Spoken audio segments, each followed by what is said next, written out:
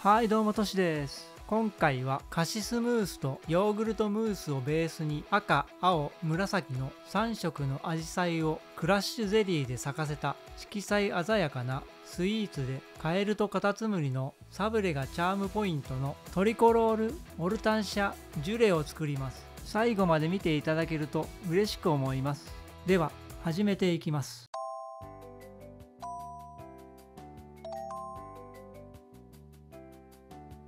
動画短縮のため各基本項目は割愛させていただきます。概要欄で案内していますのでお手数ですが参照願います。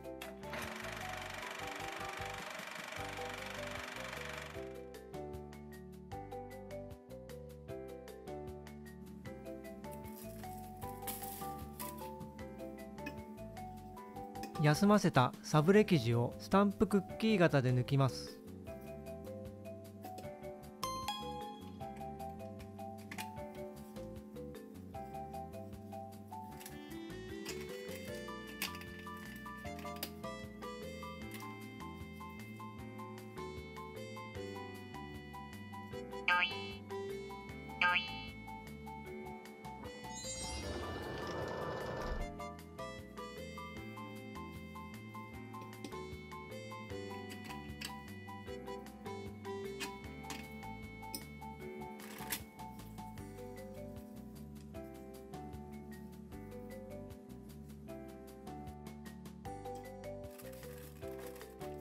抜き残りの生地を再度成形して必要数を抜きます。すぐに焼成しない場合はラップをして冷蔵庫で一時保管してください。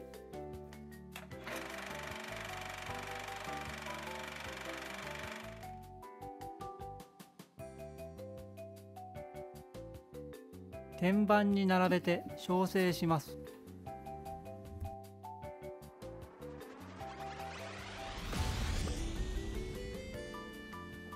190度余熱180度で15から20分ほど焼成します。温度と時間は目安です。ご使用のオーブンで調節してください。表面に焼き色がつくくらいまで調整します。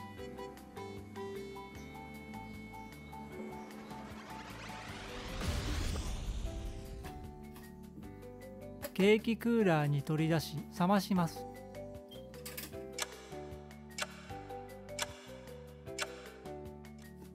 冷めたら密閉容器に保管してください。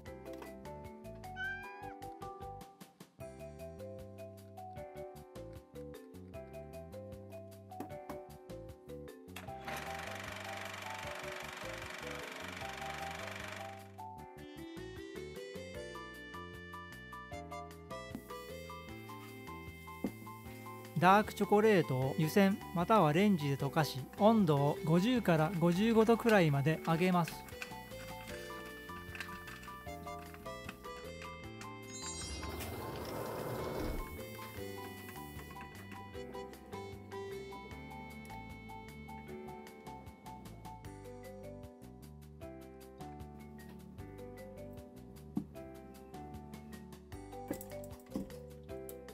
適温になったら氷水に当て温度を27度くらいまで下げます。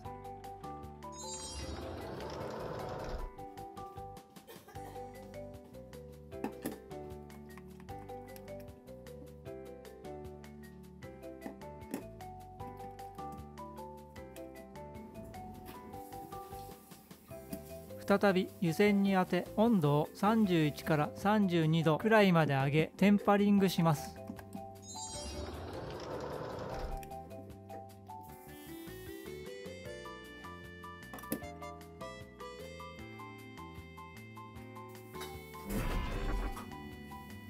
サブレをチョコレートでコーティングします。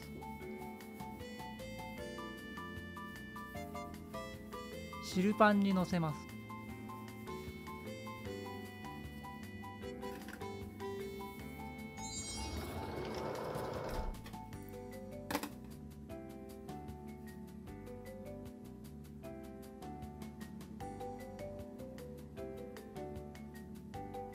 チョコレートが固まるまで置きます。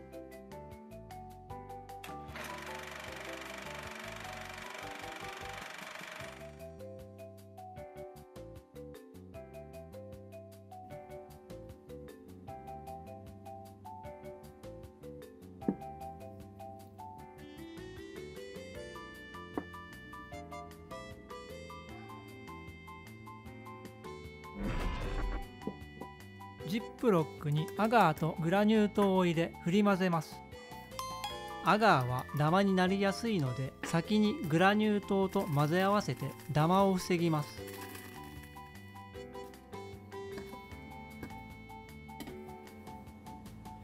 ボウルにハイビスカスティーを入れます。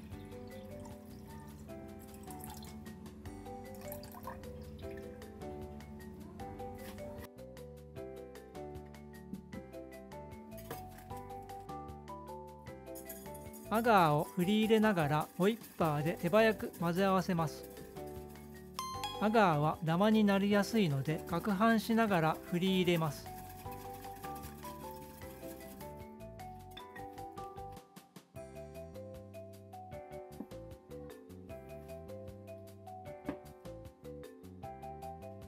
鍋に移して加熱します。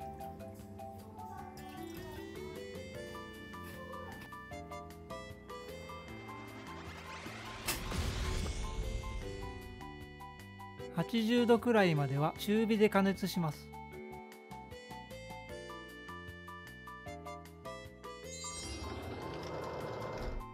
80度を超えたら弱火にしてさらに3分ほど煮続けアガーを完全に溶解させます。3分後火を止めます。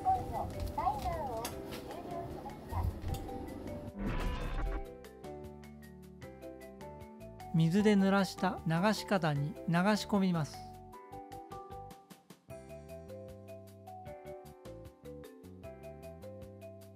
粗熱を取り冷蔵庫で冷やし固めます。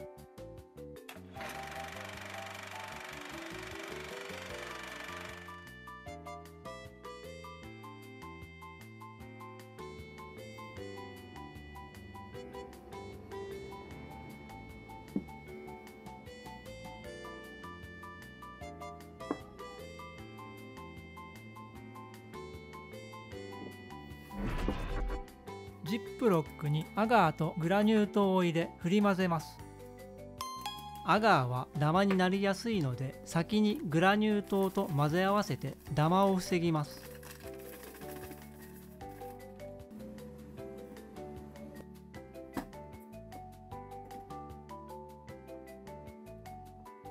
ボウルにバタフライ PT を入れます。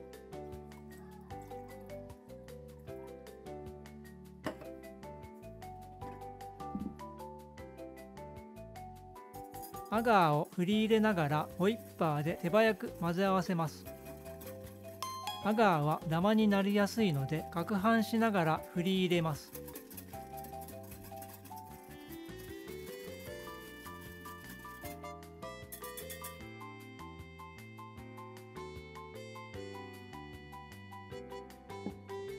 鍋に移して加熱します。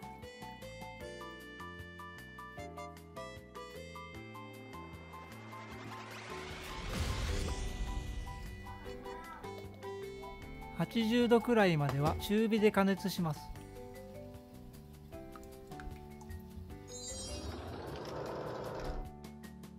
80度を超えたら弱火にしてさらに3分ほど煮続けアガーを完全に溶解させます。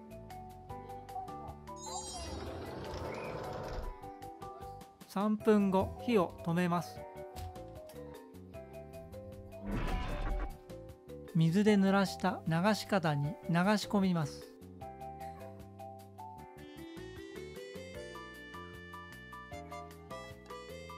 粗熱を取り冷蔵庫で冷やし固めます。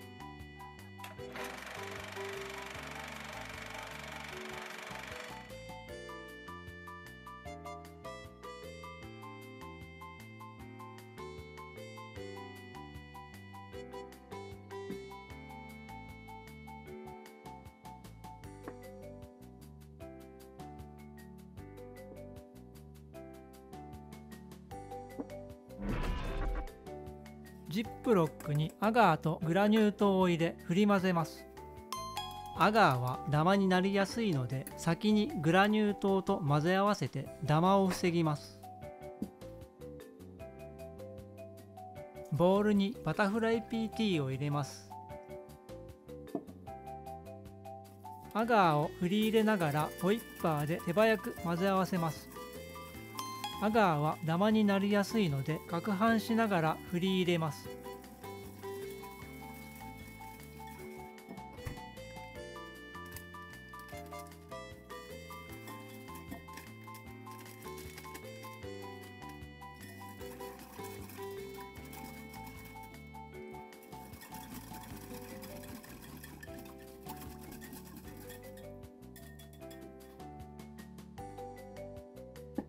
鍋に移して加熱します。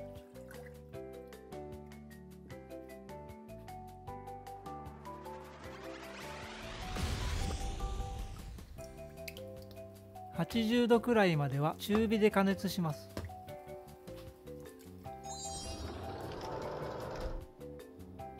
80度を超えたら弱火にしてさらに3分ほど煮続けアガーを完全に溶解させます。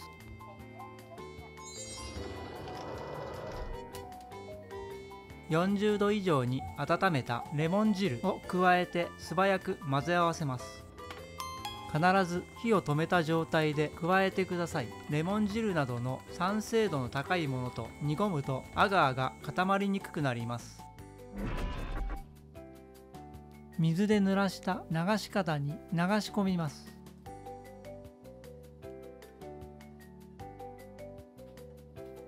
粗熱を取り冷蔵庫で冷やし固めます。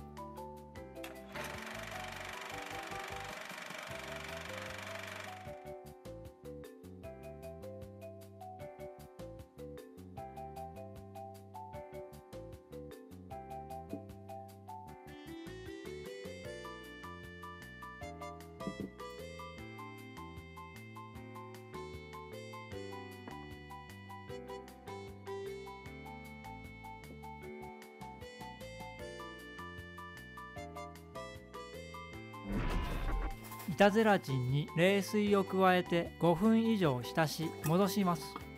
夏場などの気温の高い時期は冷蔵庫で一時保管してください。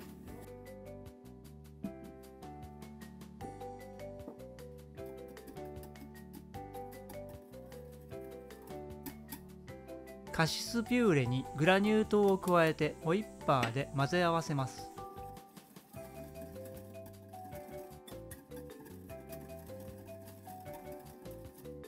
レモン汁を加えてホイッパーで混ぜ合わせます。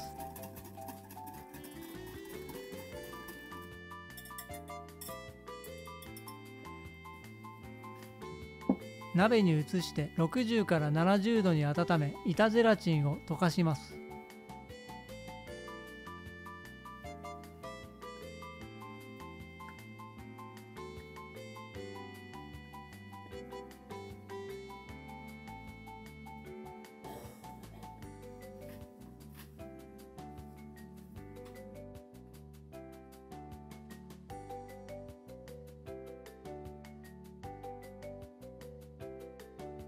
生地をこします。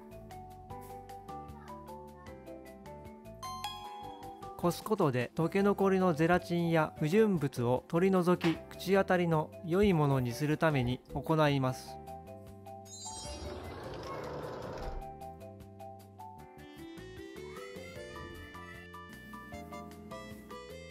生クリームを氷水に当て6から7分立てに立てクレームフェッテを作ります。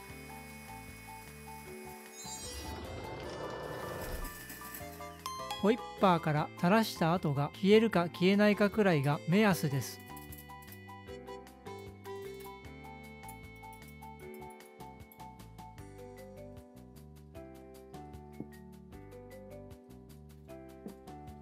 ベース生地の温度を30度前後まで下げます。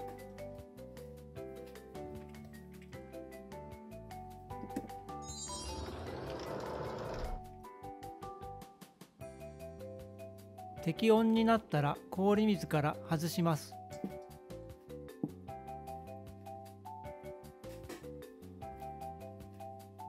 ベース生地とクレームフェッテを数回に分け加え都度混ぜ合わせます。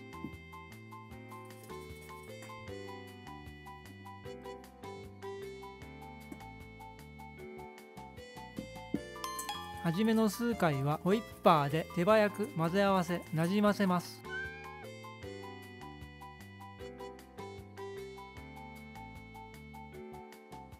ある程度混ざったらゴムベラで残りのクリームと混ぜ合わせます。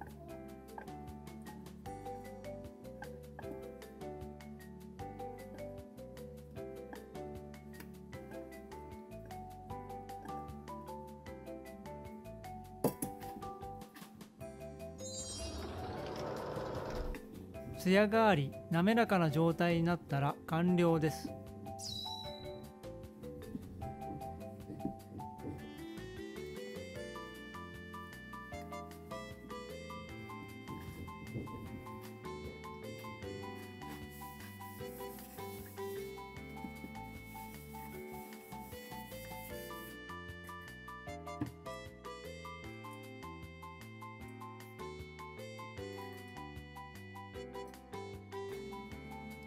をデポジッターに入れます。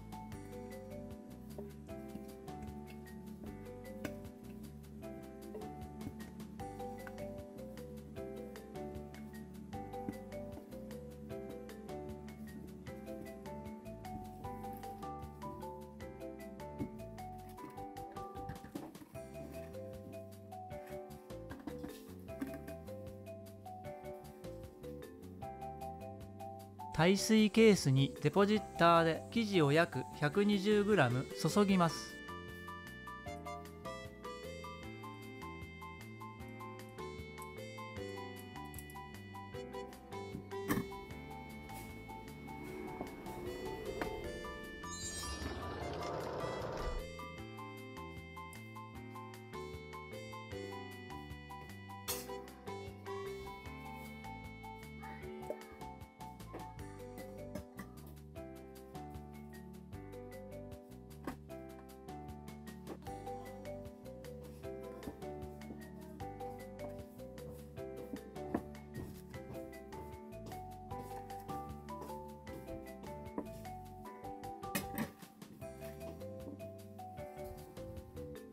冷蔵庫で冷やし固めます。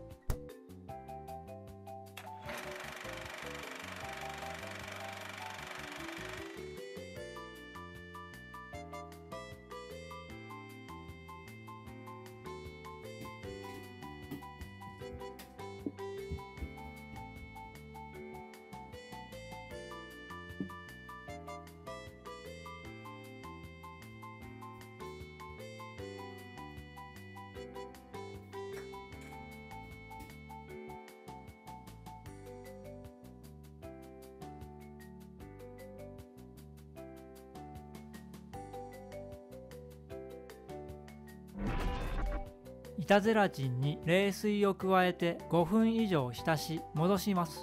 夏場などの気温の高い時期は冷蔵庫で一時保管してください。ギリシャヨーグルトにグラニュー糖の半分程度を加えてホイッパーで混ぜ合わせます。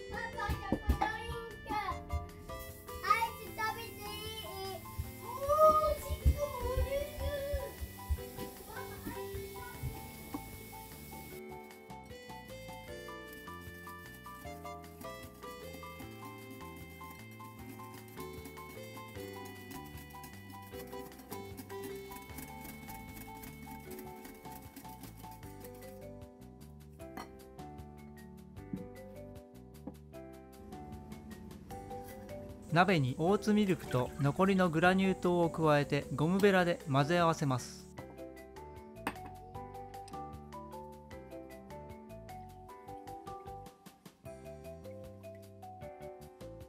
60から70度に温め板ゼラチンを溶かします。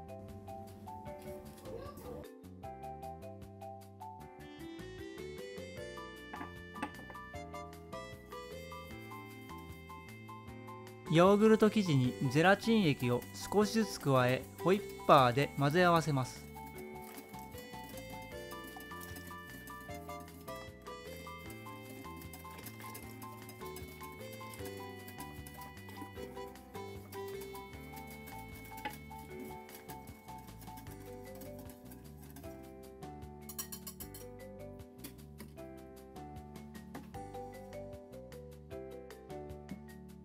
バニラフレーバーを加えてホイッパーで混ぜ合わせます。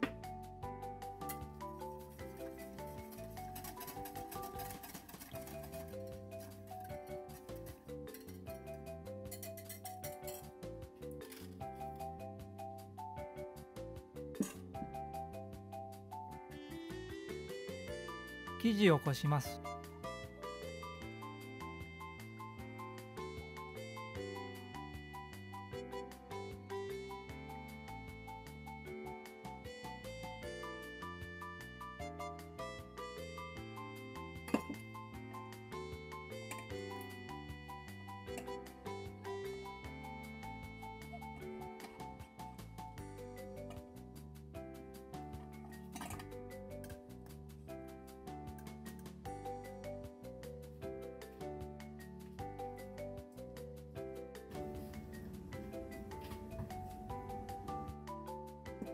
生クリームを氷水に当て6から7分立てに立てクレームフェッテを作ります。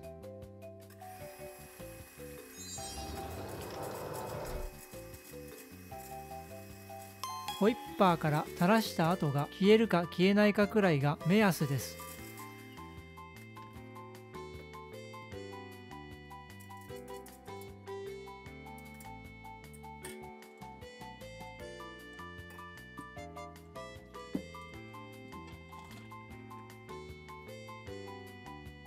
ベース生地の温度を25から30度前後まで下げます。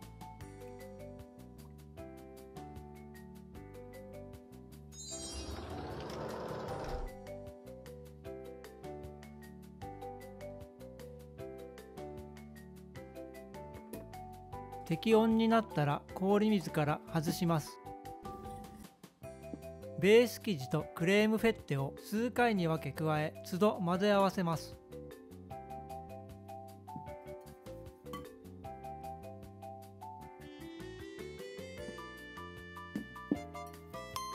初めの数回はホイッパーで手早く混ぜ合わせなじませます。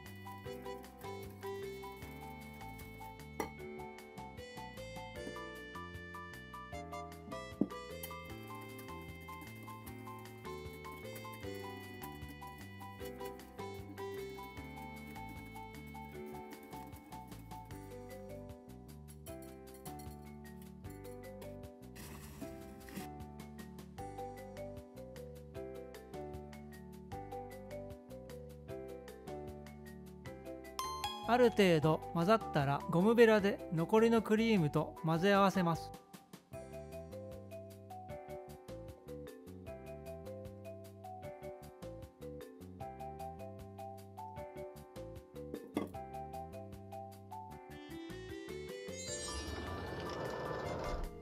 艶があり滑らかな状態になったら完了です。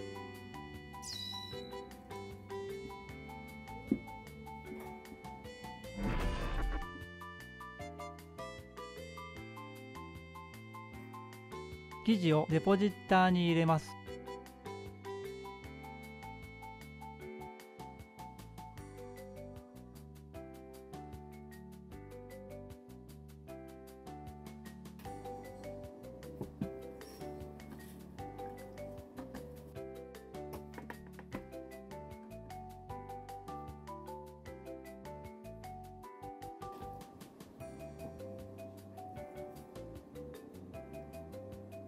冷蔵庫で冷やし固めたカシスムースの上に約 130g 注ぎます。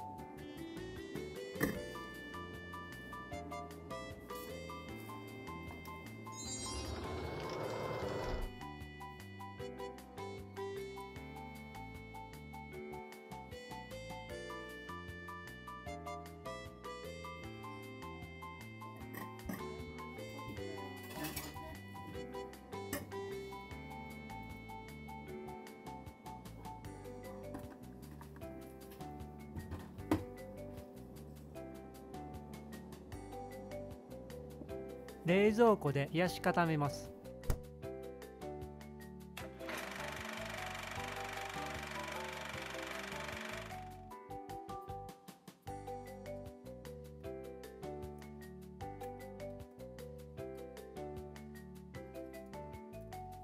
冷蔵庫で冷やし固めたハイビスカスゼリーをフードプロセッサーで粗く砕きます。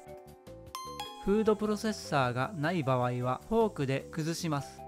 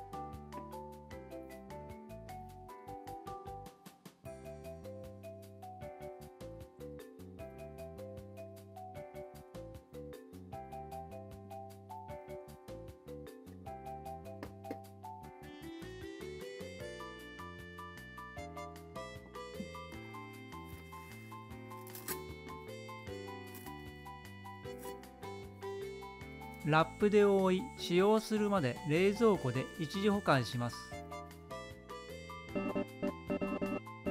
青アジサイ紫アジサイゼリーも同様にクラッシュゼリーにしておきます。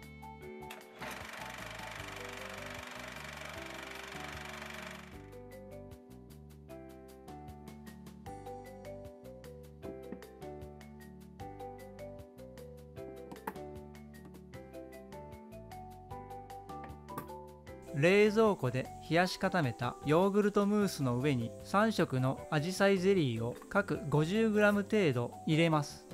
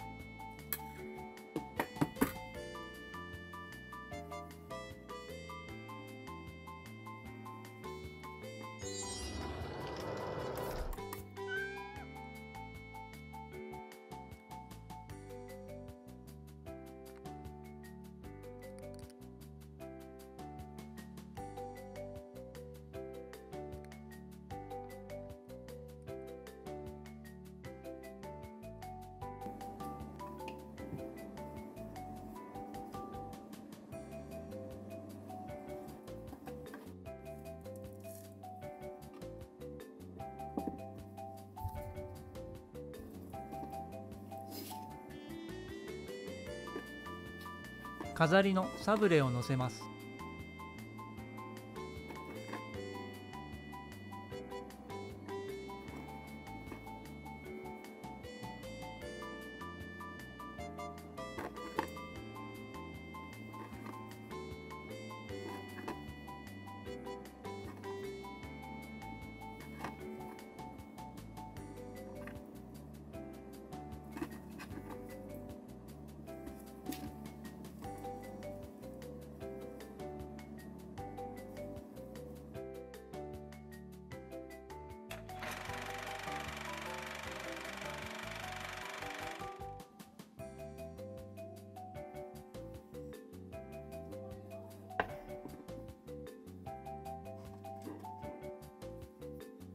蓋をします。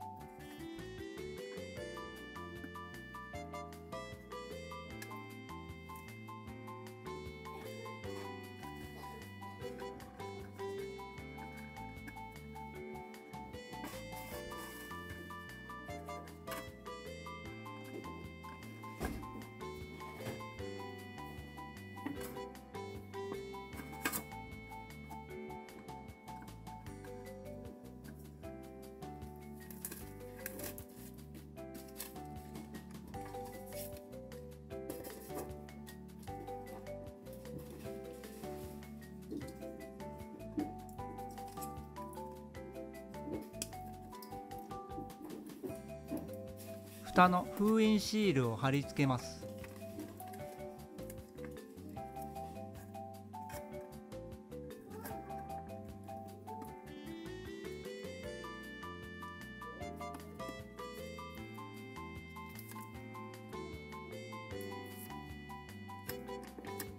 ラベルシールを貼り付けたら完成です。